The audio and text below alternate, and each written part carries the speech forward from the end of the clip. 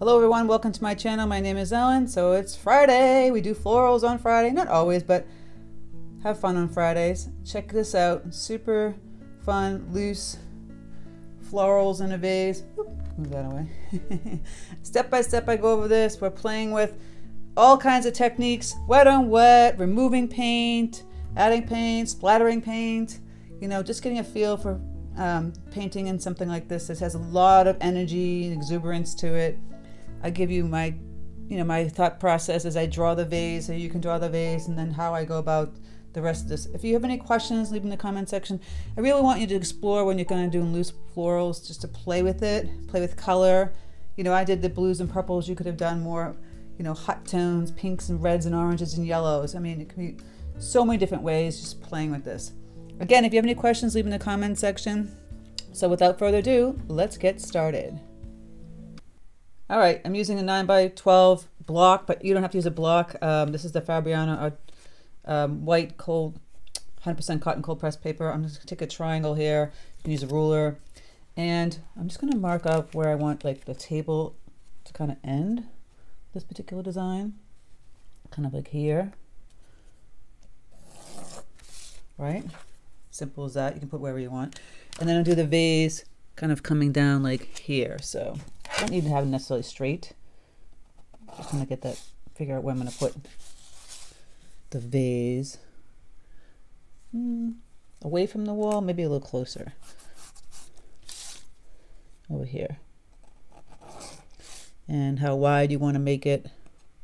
This just helps you do your cylinder. And then of course, curve the cylinder. So it's like this. You know how to do cylinders and little circles. It's best if you can start to draw your own stuff. I talk about this a thousand times because you're only going to grow as an artist and just kind of mimic that. But, you know, we're going to cover this with flowers. So you don't really have to worry about the top so much. And, of course, erase the line. You can keep the line because we're actually going to paint over some of that. I'm going to erase my line that I did in the beginning. And I'm going to light, lightly erase all of it, actually, so I don't really see it necessarily. So that's kind of like the only bones that you have to worry about in this whole picture. The rest of it, I don't know. Actually, I think that this is up too high. I'm going to pull this down a little more. So I have more room up here for the flowers. So I'm going to pull the vase down a little more. This is my thought process. And you can figure out what you want to do. You can have it in the middle of the paper. Again, do my little cylinder scenario here. Maybe I'll see that, maybe I won't. Depends on how see-through I want to make this vase. All right, so I might have had it this tall, but I might not keep it that way. I think I'm going to keep it a little shorter. Maybe around here. I don't know. I'll play around with that. You can slow this video down if that helps you. So that's the vase. We're going to be doing some wet on wet, wet on dry, all that good stuff play with the colors that you, you know, that you want to play with. Maybe do some blues and purples. You can do some yellows and reds. Um, it's all a matter of what you want to do. I always have paper towels, by the way, close by. If you don't see them in the picture, I'm always tapping them around somewhere. Um, I have ultramarine blue here. You wonder what, what's on my palette here.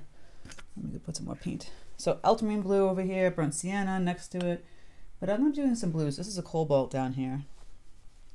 Uh, I tried a little lemon yellow in my tutorial with my Patreons. It's kind of fun use this kind of lemon color. And we've got the typical bright rose over here, which I would mix to make purple, etc. So a couple of brushes we could use. A flat wash brush for the vase. You can just be going like this, strokes like this around it, maybe patchworky, grays and blues, whatever you want to do. Even more colors. You can use, this is a 3 4 inch flat wash brush from Princeton. Um, you can just use a generic, I have this like generic craft flat wash brush I use a lot. It's one inch. Whatever you got. You don't even have to use flat wash brush. So, how can we start this? You can start off just putting in some color down, like by where the vase is, or getting this all wet up here and put some flowers. I'm going to start doing a couple of different things at once. Taking some ultramarine blue and burnt sienna, make a gray, dipping into my water here. So the gray, the base could be more gray, more blue. You can play around with that. And I'm going to use this brush. I'm going to go down here a little bit and use the chisel in on this side. Clean off, grab some water, kind of play with this brush. See that? Nothing too extravagant. This could be the water line or not. Depends. Just gonna play with this. Gonna clean off some paint and kind of tap out. Like I'm lifting the paint off here. I don't know if I necessarily wanted it dark up there. I don't know. I'm playing around with it. I'm seeing. If I wanted the water line there, maybe I'd move the water line up. The rest of it shouldn't be so dark. I can add some color from the stems, etc. And I add a little more burnt sienna, a little bit more brown tones happening. And you can play with the table, right?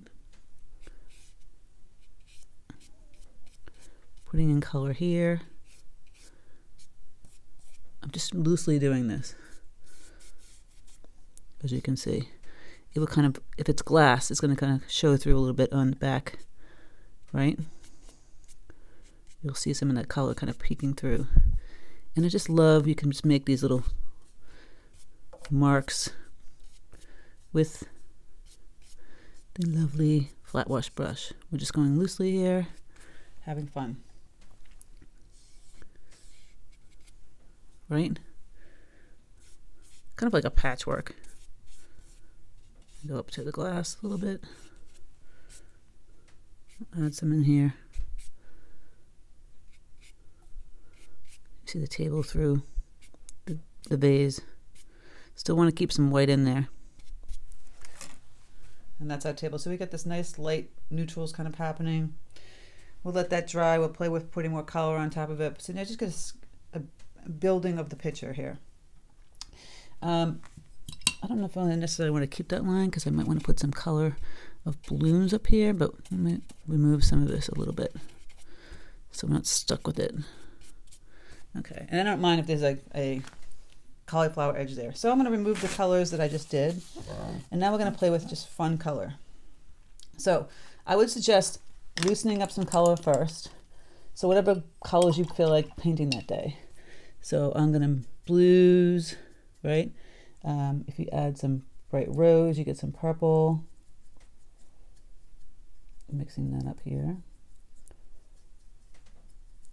So ultramarine blue deep I used, bright rose, purple colors. And when I have greens done at the same time, so I'll take my cadmium yellow deep and Prussian blue, mix up some greens. So I have those ready to go. You want these kind of things ready to go. I'm using a number 12 Neptune series brush now. So I'm to play around just getting this whole area wet. I might need a larger brush. It's just a big old uh, two inch brush. To get this fairly wet. And the vase over here. You can kind of come down over that color too. And on the vase. So this is going to be wet on wet fun. We're going to have fun. I'm going to take our big brush, or just number 12, and we'll just have to paint some kind of like round color blooms, right? So it can be purple, can be blue, or they could be more like lilacs or delphinium, so they could have, you know, go up here like this a bit, come down here. Again, it can make more purple ones, putting in some purple ones can all just be blue. It'd be kind of nice. Or you can have multicolors. But we're working with a wet on wet night now. I even have this cobalt down here, which is a lovely color. Just tapping in color. You can kind of make it a little bit lighter, looser. A little splattering will help you too, kind of like just play with, where is that going to go? Where's the paint going? And kind of work with that, right? So already it's kind of creating some blooms. Splatter a little bit. Don't go too crazy. You don't want it all down here. You kind of tap along.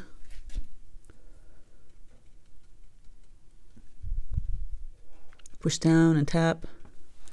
You're creating some fun blooms. A little thicker paint, it's going to make it darker. You see how this works? Kind of a thicker paint in here. And we can wait till it dries and add some more like paints that, uh, you know, different values. Now here, I'm to go down here. I'm to have some blooms kind of cascading downward just tapping. Remember, we get all that kind of area wet. Now, in between that, I'm to start to put some greens in. So, cleaned up my brush, and I'm just going to kind of make some kind of stems and leaves. Here's the darker tone. Make sure you have, like I said, this all kind of mixed up earlier. I didn't mix up the tone, the darker one well enough, so I'm doing that now.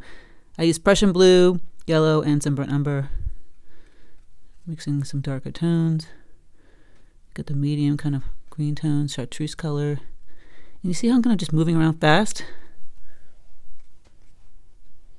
Getting in some lovely stems and greens. And if it's dried out here, no problem. We can maneuver that in a bit. Again, I'm just using the 12, push down and make some leaves. Now in here, you just see a lot of blooms. It's kind of looking like hydrangeas. I didn't mean to be hydrangeas, but it could be. You know, I could change that up too. Um, taking the dark color, going in here and putting some stems. And don't be afraid not to put some stems in this area. What I want to do is wet this a little bit, clean off the water. I'm just going to wet this area in the baize. See how that looks? like it's kind of fading in the glass. And if you don't want to use a 12, it's becoming too big for you to handle, grab an 8 long round Velvetouch Series brush or whatever stiff long round brush you have. Oops, too much blue here. It happens. Green. So I'm putting some stems in here. Pokey little stems coming, peeking out through here. The wet on wet's great. It's a lot of fun. If you feel like it got too much blue in here, we can remove some. We have that technique where we remove it. So kind of twist and take off some paint. So you can go back in later and add some color or whatever, what do you want to do, blooms. Because it blended too much maybe, and starting to look like a hydrangea. Maybe didn't want a hydrangea. I don't know if I necessarily want that either. So I'm moving some color. Tapping back on my paper towel, removing color. And then you can go back in and you can add greens. I use a stiff brush. This was a 10 round. So I'm going to go add some greens, deeper greens, maybe some brown stems peeking through up this way. Look at that. It's kind of craziness, right? Lots of fun. I'll go back with my long round brush. So nice green stems kind of happening here. It's still very wet and damp. And if it isn't, clean up your brush, get some water in there, kind of mush it. Right? So see how I'm kind of moving around this palette with the different browns and the greens. And you notice the stem's going to come down, crisscross, like that. Maybe I have one that's not like this. You can be playing around with adding the green stems in here. Some will be clustered and some will not be clustered.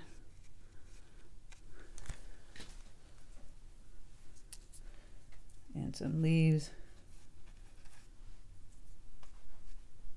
Something that can come out, out over here.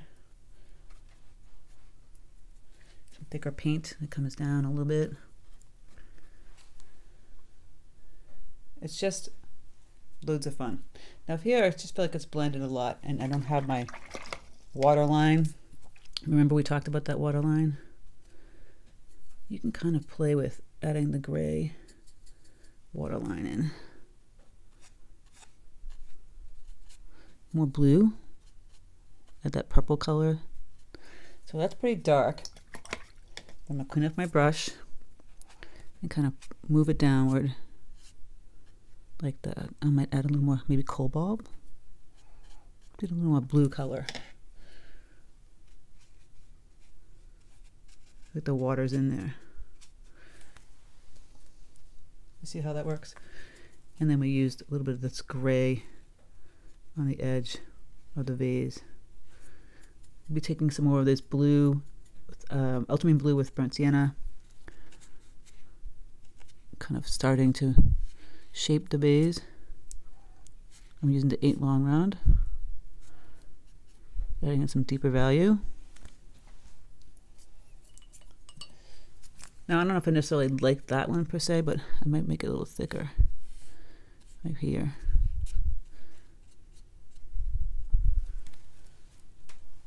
I don't like how this looks so much right here. Might remove that color. Again, you can lift, tap it out. See how we're playing with that? And in here, you do want to highlight from the glass. So if you overpainted and it's too much, you can just try and remove it again with a stiff brush. See, I'm gonna remove that because you want to highlight of the glass.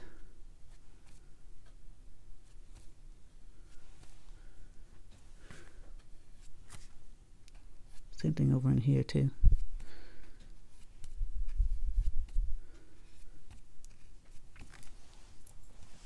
And if it's still like, another trick is just to scrunch up your paper towel.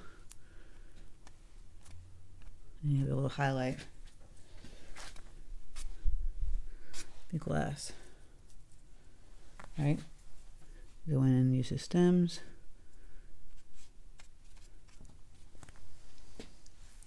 All the fun stuff. Now I'm still gonna start to play with putting more stems. I'm mixing all the colors here a little more brown. Adding a little more stems, a little more leaves. I'm going to be moving around the paper. A little lemon yellow here. Adding in some leaves. Bright color ones up this way. Taps. And it's kind of leaning way too much over this way. I'm going to go and add more more color out this way. Greens whatever I have. Make this a little bit brighter. Kind of happening here. Chartreuse yellow. Greens. Just kind of balancing it more. Right? To full I just feel like it's too bulky right here We'll add some more blues up that way too. Gonna clean up my palette, it's very messy. Sometimes you have to do that. So I don't like how some of these became mm-hmm. very blobby, but we'll go back over it. And if it's too blobby and dark, you can kind of play with, again, you know, lifting, removing. So I'll put the color in there and I'll lift up some of the color. I do this often. This is not a stiff brush to do this one this Neptune series. I'm going to go up here and add some more water and tap some more color. Just little tippy taps, some purple,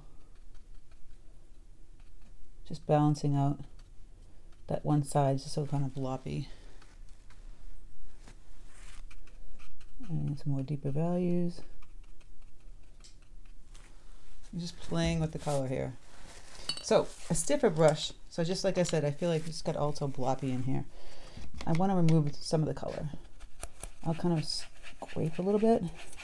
This is that flat wash brush. Paper towel. Kind of just, I call it kind of like erasing the paint. paint. So you can take the same brush and you can kind of mush all this. You get this kind of atmospheric look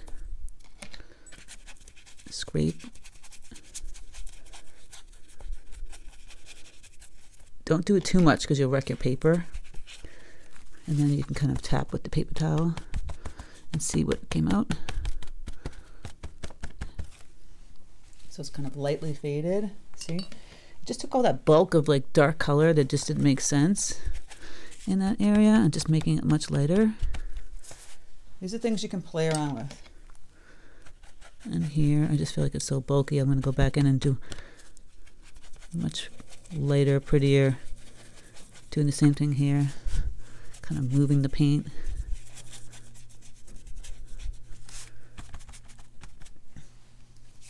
See how that lightened that up? I'll even come down here a little bit.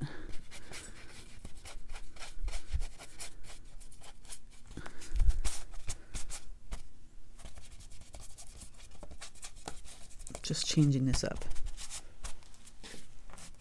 It just lifted so much of that color. It's bothering me a ton. you see? It feels better, doesn't it, already? And you don't know that until you start experimenting, playing with that a little bit, right? I don't mind it so much over here. It was just so heavy over there with those colors, and I want to really just kind of a light tone. Gonna keep the vase. I'm gonna go back in and make some more beige. We'll let that dry a bit. Tones, right? That's a little too. Put some shadowing going on here, adding some more depth, and there'll be some shadowing here because these are kind of overhanging. I'm going to be playing around with adding color here and tone.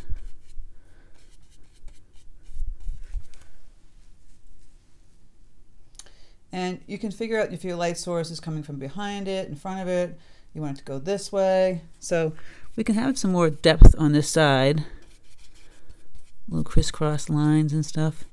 And we can make this side much darker. It depends what you want it to do.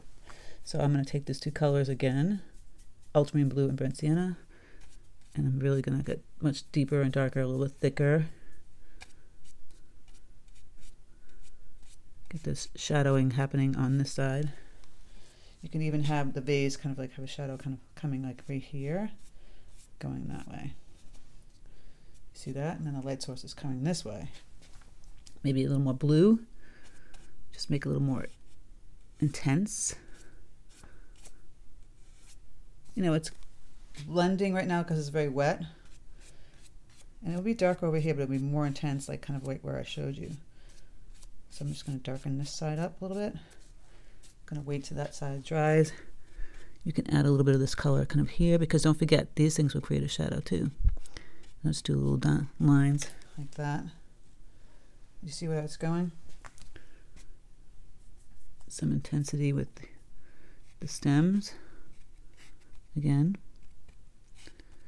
Love using this chisel end of the brush. Lots of fun. This kind of looks like it blended too much like a blob because because it was very wet. So I'm just going to lift a little bit of this and let it dry and then come back to it. While that's all drying, all that good stuff, you can still play with adding a little bit more color. Um, we're going to go and play with the blooms again, right? And again, if this seems even too dark, or maybe you want to put some color, like some greens kind of happening in here, you can do that. I do want to lighten it up down here though. So I am going to scribble some of this out. You see how my mind works? It's kind of erased, right? It's giving this a little bit more intensity on that side.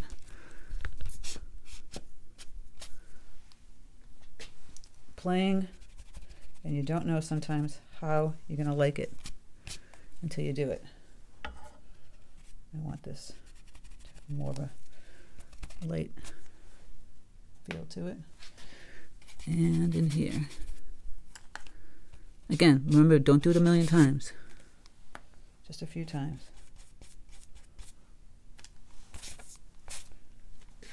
See that? Now you have that shadow kind of situation happening and you can have like the shadow even on the glass on this side. Adding some of that color. So all the intensity of the lightness is kind of coming from this way. And now we'll go back in and play with mm-hmm. some of the blooms mm-hmm. and call it a day. So I'll go back with my ultramarine blue when it's dry, tap it, wait till it's dry, and some of my lovely rose, and we'll create some nice little blooms. So I did decide to scrape out some of this on this side, you know, because I felt like it needed it. Can add a little highlight again. Just using the chisel end of this brush. Getting a little bit lighter. These are the things I talk about. You have to play around with what you feel comfortable, how it looks. And I just made it a lot better, I just feel like. And I don't like this hard edge, so I might kind of edge out, make it softer. The blue. It just looks better that way. A little more atmospheric, kind of fun, funky. So now we're going to play with the florals. You can grab whatever stiffer brush. You can play with, again, splattering more color or just putting in more color. So I might just take this eight long round and do these little taps, kind of going up, like you would see a delphinium look or even like a lilac just kind of in a triangle going upward, put in some blooms up that way, maybe some more round circular ones. Depends what you feel like doing.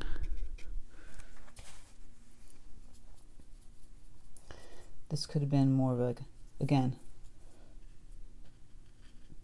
you can see a circular kind of flower happening, right? And adding in a deeper tone in the center. I'm just gonna have to start to play around with it and see what you like. Do petals, different petals, pink, purple, blue, whatever. I'm gonna go play with adding just like simple petals over here, over here, kind of coming out and touching that. It will change the picture. And even coming down here you can make whatever blooms you want. It can be more of a daisy shape, um, hydrangeas. It could be um, pansies, things like that, or just simple round type shapes with a dark blue center, right? So here's a round shape and a dark blue center.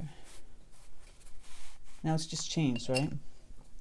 And again, I would stress playing with like splattering some paint too once dry. See how that looks like over here? It's kind of pretty.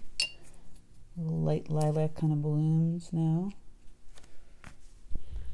It's a little too dark. You can tap it on a paper towel. You can paint some like nice dainty blooms that we didn't have before.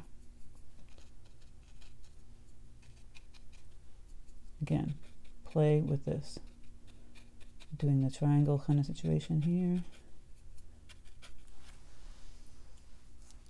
And uh, it could be really kind of cool grabbing some greens, whatever. Have some kind of stems kind of coming down. Now that it's all like dried and you can kind of put some nice deep colored stems in. Mixing up some deep green, brown greens. Go here and add some stems kind of coming this way and that way and down in front. Darker leaves going around some of the blooms.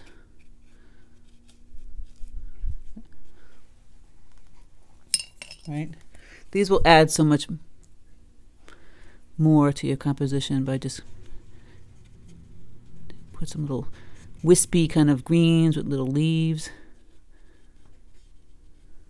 Even out here kind of poking through. Because you don't want them everywhere, but you do want some poking through around the florals here.